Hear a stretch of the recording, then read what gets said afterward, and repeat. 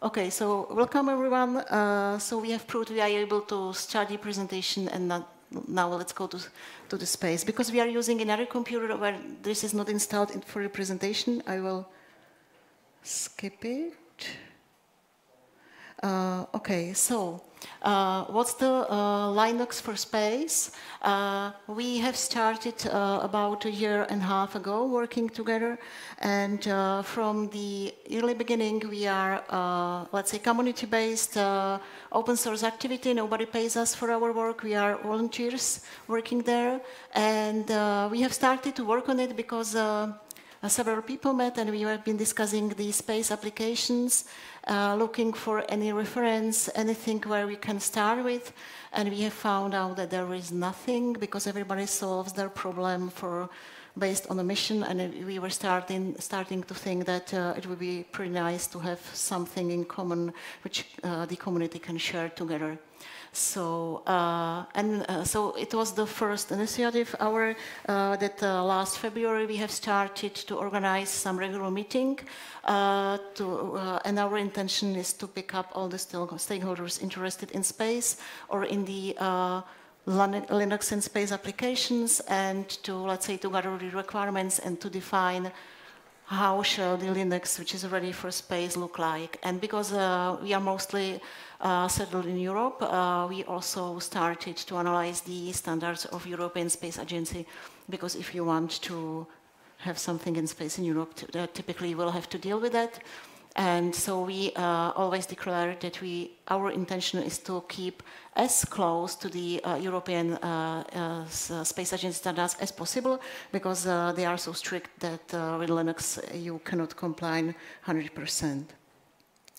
So uh, here are th three organizations which have started uh, to work together. Uh, last year we have been working with the Research Institute of the Czech Technical University, then with the guys from the Czech Aerospace Research Center. They are here and they will, after us, they will show, show you their uh, satellite, which is based on Linux and currently working up there. And uh, we are from the Technical University of Liberec. Uh, I have picked the names of people who are working with us on our, let's say, regular meetings we have. So on the first slide, we are uh, two of us. Then there are uh, the guys from the Czech uh, Aerospace Center. Uh, uh, Javier uh, from European Space Agency is responsible for software, let's say, software on flights, and he helps us a lot with the ESA standards and our he, he, he helps us on our way to, to try to be compliant as, as or at least as, as possible, let's say. Uh, Eric Weiss uh, does a lot of stuff uh, uh in the Yocto. Uh, Tim Bird was so nice to join us, and uh, we are happy to have him on board. And the same is for the last name. yeah, Kaivan sends many greetings to, greetings to the audience, but unfortunately he couldn't come because he didn't get visa. So and uh, now, shortly, what we are doing now. So, uh, you, if you are interested, you can uh, scan uh, the QR code, which will lead you to linuxforspace.org webpage, and we try to gather all the information there. So, we are organizing uh, regular meetings, which are going online every second week, uh, and on the meetings, we have found out that everybody knows something about the space applications and the problems probably which we shall solve in space and uh, discuss and uh, okay, we uh, had a lot of notes and stuff like this, so that's why we, uh, I think in March, started the wiki page and discussed some general structure there. Uh, then we have been working on the requirements uh, and we are analyzing the standards and let's say we are moving slowly to the implementation phase, so we have started some GitHub which is ready for for our layers. And also, uh, uh, what we think it's important uh, to keep people meeting together and discussing all the problems together. So I will skip this, unfortunately. And uh, uh, so the result of the, let's say, the first year is that we agreed on some use case, general use case, uh, which is a typical for, let's say, the Linux for space distribution. So um, definitely we yet we are not reaching to have a mission critical system. Uh, so uh, we have from because there are there is so much uh, types of use cases in space, uh, as you heard in the keynote this morning. So for the Linux for Space, we would like to keep concentrated on the payload system, uh, which typically is working with no graphical user interface because it's running on a CubeSat. Uh, so CubeSat payload, uh which shall provide real-time operation for, let's say, uh, defined processes. And uh, we were when we were talking about requirements and trying to define them, we were focusing on the space environment, and space environments means that it's totally unfriendly to the hardware. You have a lot of radiation there, so uh, TLDR version, you need to shut, uh, shut down as fast as possible if you are reaching the radiation area. Uh, and it's quite challenging in Linux sometimes. And uh, yeah, uh, you need to have typically several redundant data and some backups there. So the, the other part of the use case is that uh, we have decided what defines us that we are designing the distribution uh, with the uh, standards in our in our heads, thinking about the uh, uh what's defined in these standards to be able to be compliant. And uh, we have uh, decided to create some reference distribution consisting of several met meta layers in Yocto. Uh, and uh, uh, we, we, are visiting the ELISA, working, ELISA project. There is a working group focused to aerospace, so we keep the space because there is a lot of people, a lot of people from the, let's say, avionics. So we are keeping the space flag there, discussing the stuff, and the yeah, the, the uh, last is that we would like to be community-based, I mean, to open to everyone. So everyone who wants to do something or even to comment something or provide us uh, any feedback is really, really welcome. Uh, so, yeah, this is for you. okay. I will and exchange. Okay. Thank you, Lenka. And I would like to talk about uh, CubeSat, uh, uh, uh Linux in space, especially uh, CubeSat. Uh, I, I, took several, it took me about two months to find out how many of Linux is up there in year 2022. and this is a, a result. you can see on the ch chart that almost 20% of uh, CubeSat use Linux in space. There is about 30 30% uh, of firmware, custom firmware, and uh, about 8% of RTOS. And there is a big undefined area. It's, uh, it could be explained but by two options. First option is that I'm very bad at Googling and searching. And second option is that this is the uh, place, uh, it's, these CubeSats were built by private, uh, by companies which don't want to share their information uh, use if they use any uh, any Linux. Uh, this stats uh, includes only unique CubeSat missions. That means if uh, CubeSat, for example, called uh, Lazy, uh, was launched in January, and then uh, was another one with the same name launched in December. We just counted as one record. Uh, one important thing to, uh, to mention is that one CubeSat may have a multiple system. That means that uh, one CubeSat may have RTOS, RTOS, for uh, onboard computer and line, um, may use uh, Linux for the payloads.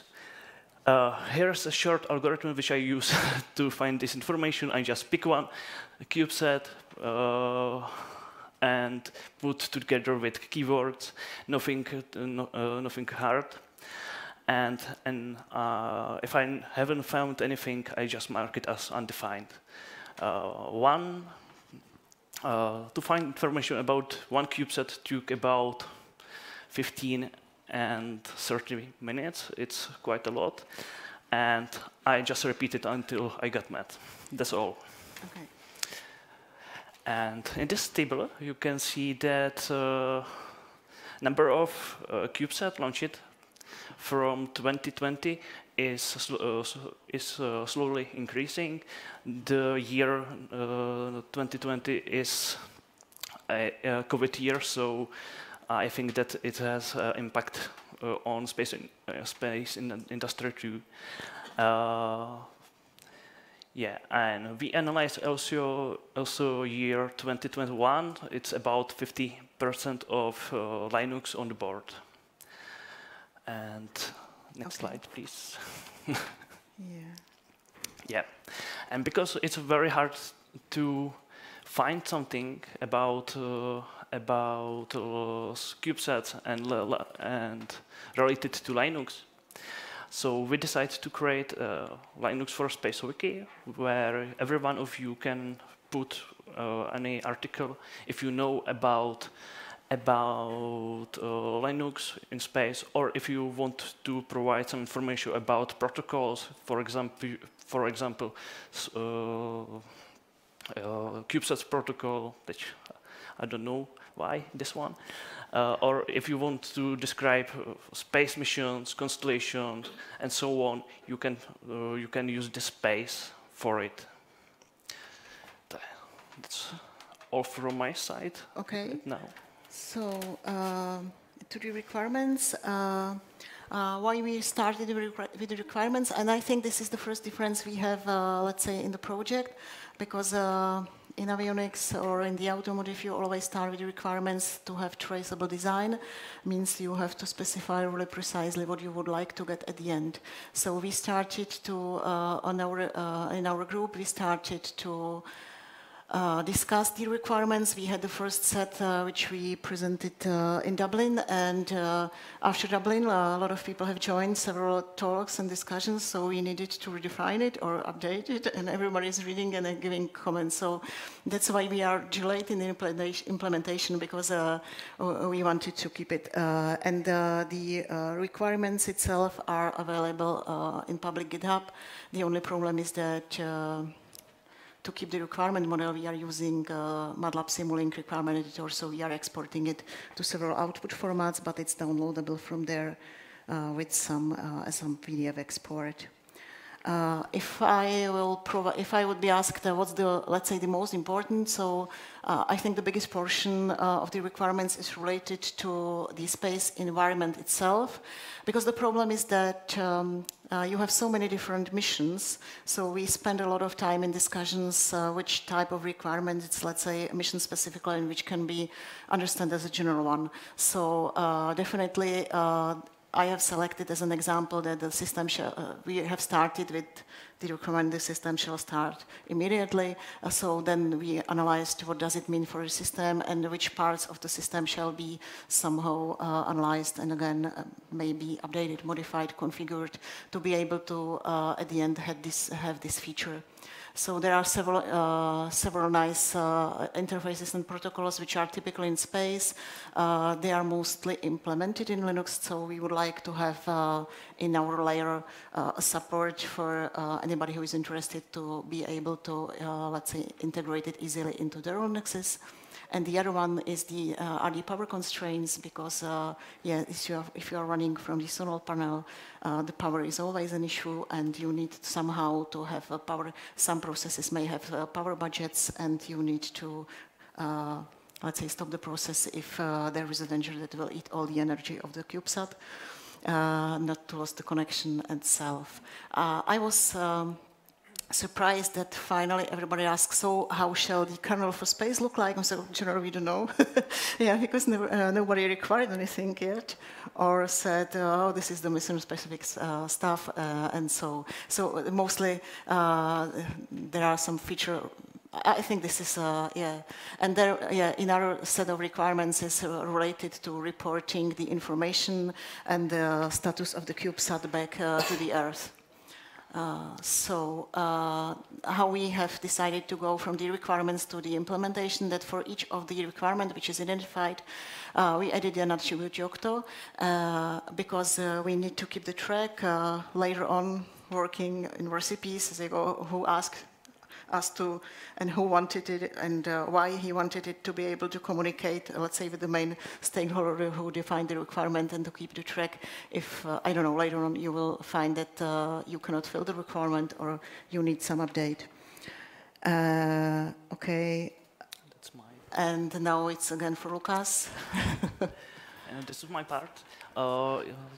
Part two ECSS standardization. Uh, just a brief uh, information what is uh, ECSS and how is it device, uh, divided.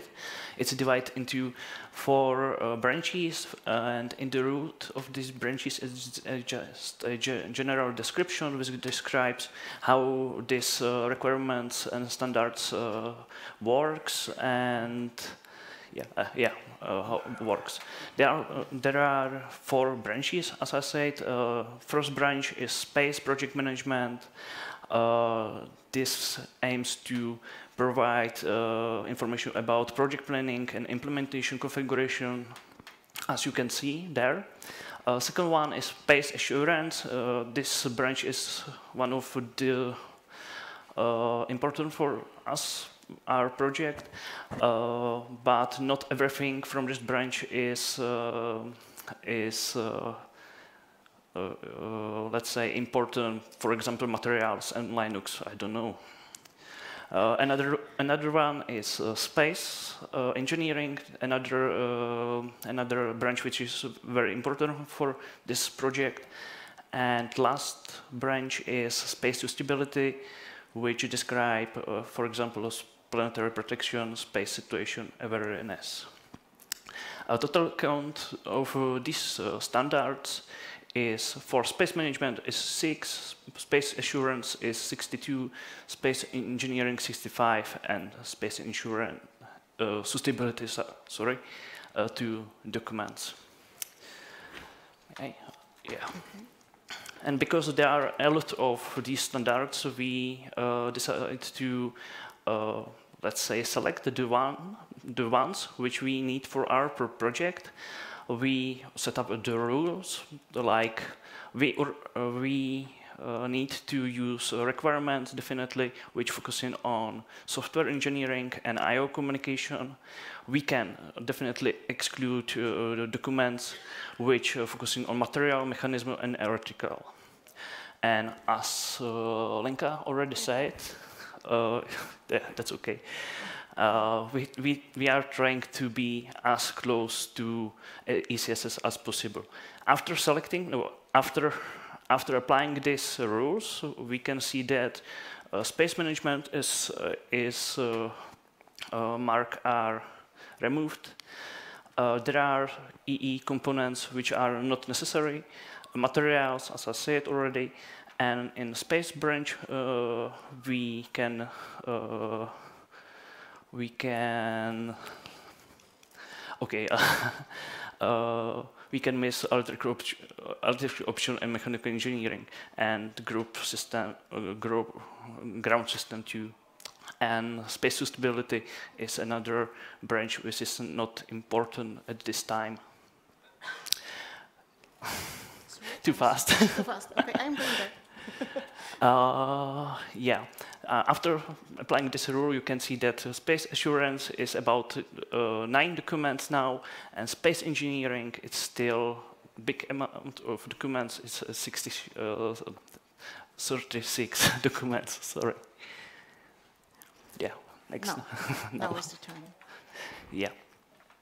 And how how how to um, how to describe our implementation strategy, first step is done. It's the document impacts because every document has a different impacts for us.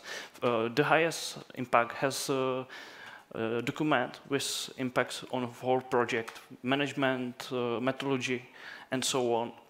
The lowest impact has uh, unrelated project, uh, for example, the materials. First phase is done. We set up an impact. Uh, now we want to start with documents with, uh, with the highest impact, uh, which uh, we will try to implement into our project. And then the third, uh, third phase is divided uh, logically into two different phases, but it's still third phase. we want to implement requirements which impacts on user, user space software and the driver implementation. Yeah, thank you. And I tried to uh, show uh, how uh, how many of the documents will be uh, in each phase. In the first, uh, second phase, it's about seven documents. Uh, in space assurance, in second phase of space engineering, it's only about 10 documents. And in the last phase, it's in uh, space assurance, two documents, and space engineering is big amount of documents, 26. And I think that's all from my side. So, uh, and uh, it links to the proposed Yocto structure. Uh, again, uh, when we are working, discussing the implementation, uh, we wanted to keep the connection to requirements and also to the standards. and um, uh, we wanted to uh, create set of layers which everybody can integrate into their projects. Uh, so we wanted to keep us, uh, let's say, quite hardware independent, and we have selected a few hardware references. Uh, so uh, first one is Raspberry Pi because everybody has it and works with that. Then the QEMU for somebody who doesn't work, uh, doesn't want to bother themselves with the real hardware, and that uh, VZLU is the Czech abbreviation for the Aerospace Research Center because they have their own hardware and volunteered to implement it there as well. Uh, and uh, we have uh, several layers uh, because we have decided to create, to, to uh, um, let's say, have two layers, which one is, uh, let's say, called, we call it Meta Linux for space, and it's for the system layer. I mean, everything which is related to the system itself, like, okay, the bootloader, the image definition, or I don't know, whatever, the system configuration and stuff like this, shall be kept in this layer. And uh, then there is the application layer. So if I would try to, again, provide you a TLDR version, how to orient it there. So the first one is the kernel space and the second one is the user space. And uh, later on, we have decided to add, uh, so to do it like this.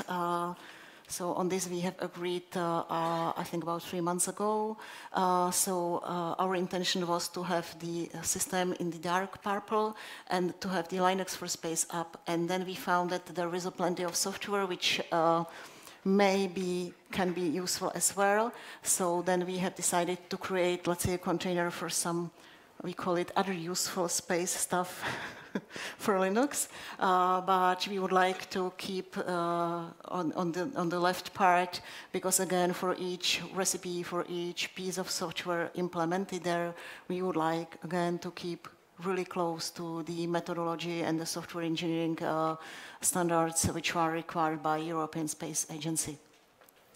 Uh, sometimes it's not possible simply because uh, the workflow, workflow of the open source is completely different than it's required by ESA, and I think this is one of the issues which shall be discussed maybe for the future. And yeah, so as I told already, uh, in the requirements model, we have some, uh, the Yocto attribute where we uh, fastly started to discuss for, uh, let's say, feature by feature or requirement by requirement, uh, how shall it appear uh, in the Yocto, and later on who will be responsible and who will warranty to do it and, stu uh, and uh, stuff like this. So definitely there is a recipe system later, and it links to uh, typically uh, to, to the Meta Linux for Space or the Meta Linux for Space app. Sometimes there are features which are related generally to the system, uh, and we don't know how to do it in Yocto, or there are just maybe a comments or uh, comments to the whole system, and sometimes we, are, we have not decided yet. So uh, again, uh, what you should, shall expect in the system layer, um, it shall be, uh, let's say, an, an, example of the distribution. So, so we shall, we, we hope to provide you Linux for space minimal image. I mean the minimal working uh, Linux bootable with uh, all the features we need, uh, we want to have. So again, as an example, uh, what is related to space uh, in the space.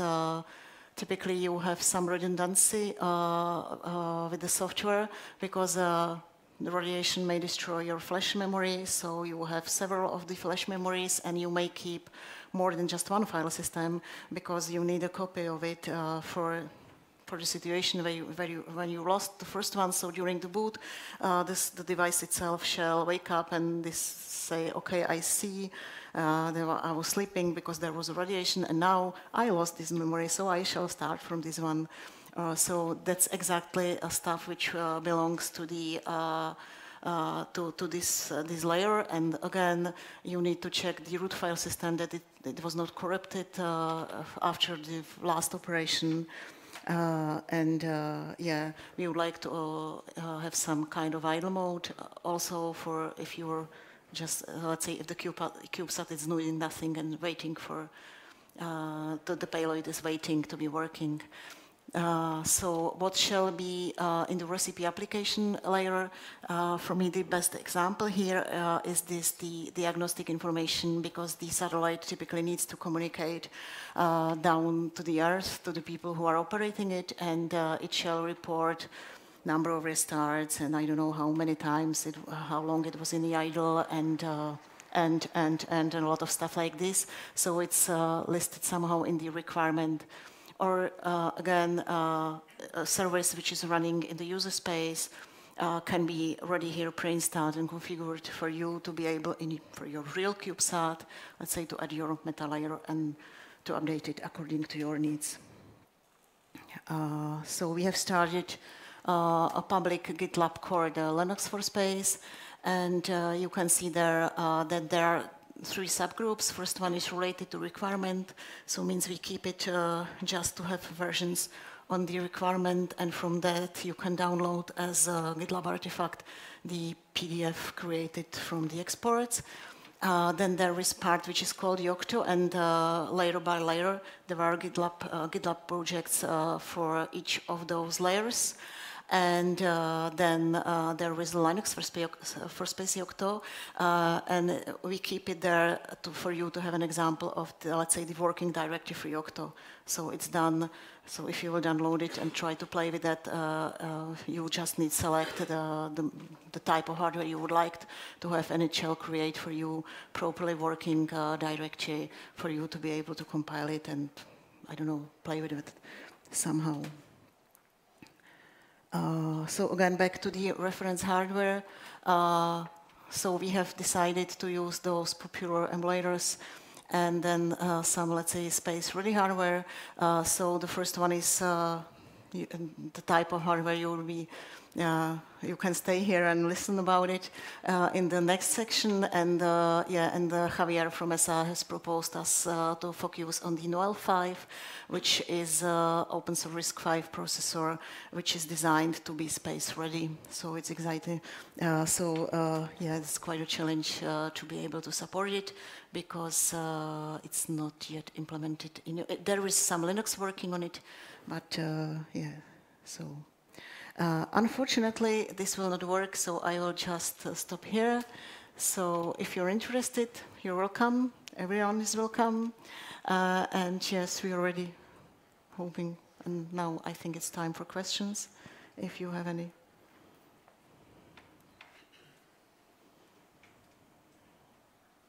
Mm -hmm. Yeah, uh, it's, I'm sorry for that. It's a Czech abbreviation for the Czech Aerospace Research Center, and the guys are just in the next line at your back, and they are talk, they are talking in the next section. No, no, no. It's the name of the research institute. Ah, okay. yeah.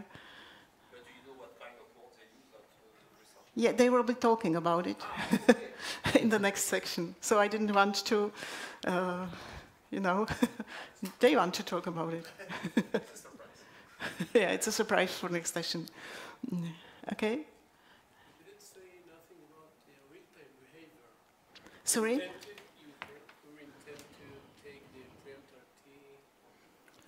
Actually, there is no requirement. Yeah, okay, there was a question about the real-time behavior. Yeah, so when we were talking in general, everybody says, yes, it would be nice to have it.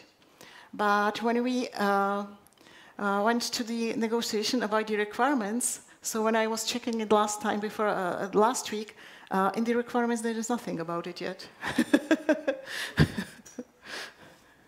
Nobody required that to see. I wanna, yeah, I really wanna have it uh, done this way. And I think I think it's mostly because we are talking about the payloads, not the real uh, mission critical systems. The preemptor. Yeah, exactly. Uh, and uh, each of this discussion ended up, okay, maybe this is really mission specific. Yeah. And do we have any roadmap or milestones for when will it will be ready? Uh, we hoped to have it. uh, yeah, uh, let's say uh, definitely it shall be. Uh, we are from the university and holidays are starting just now, so we have two months. I hope to have have it yeah soon. The first version, let's say, the first demo. Yeah. Mhm. I have another question. Uh, you didn't talk a- any- about any hypervisor. Uh, Some people say it's the only possibility to, to, to comply with the EC uh, standard to use the hypervisor uh, on top of the hardware and then put uh, operating systems such as Linux or any kind of uh, Yeah. RPM, say, for example, uh, inside containers. Yeah, there was a, yeah, just to repeat the question, that uh, there was a comment that I was not talking about any hypervisor, uh, because uh, again, to reach the requirements uh, from the standards, uh, maybe this is the only way. Yeah, but uh, mm, uh, we are still working to, on the, let's say, standards analysis, so maybe it will come later. Because in, in Europe, most of the applications they use the XNG. XtratuM, Mhm. which is which is XNG now and is qualified for, for the European rules. So, as far as I know, it's a, is a good way to do that, to do the stuff. Yes? you are totally right. Uh, about it on Friday. You know, I know, I know, we have emailed. uh, same uh, project name. We don't know each other, but we have exactly the same project name in France and in. Uh, so maybe we can cooperate somehow, uh, I think. I will talk about my, my position on Friday. Okay. At the same time, uh, no, So Inner Linux Space uh, is coming on Friday, and we will be there. Much better because you have a t-shirt. Yeah, okay. We can borrow you. okay, any... oh, there is a sign that we shall stop. Yeah, okay, so then we have to stop. I'm very sorry that we lost some time at the beginning. Yeah.